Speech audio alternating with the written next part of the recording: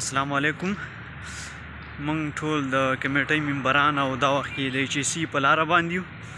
ایچ ای سي دفتر ته روان یو هسې معلومات به کوو که نه چې ایچ ای سي څه حالاتو کې دی او چې کوم فراګره زمونږ روان دی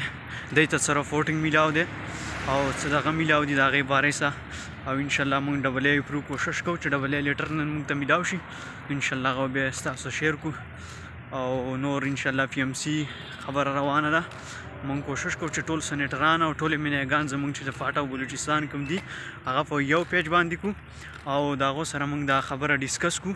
او چې څومره کې دی شي کاغی زمونږ سره وزیر اعظم ته که صدر صاحب ته او که د پی ام سی ای ټی سی ارګنایزیشن د دې سره د میټینګونی او دا خبره زر تر زر هایلایټ کو او د حل کېدو کوشش وکړي دا هایر ایجوکیشن کمیشن دی خو مونږ په دې بل ګیټ باندې ورځو ځکه چې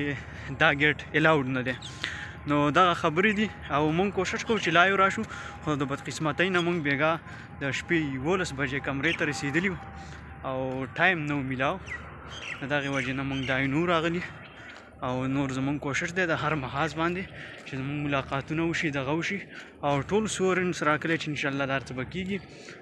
او بس دغه دی اوس دغه ګیټ ته رالو ان شاء الله اوس به دننه ورځو دننه چې سی کې لږ ملاقات دی بیا بیا ولا راځو ان شاء الله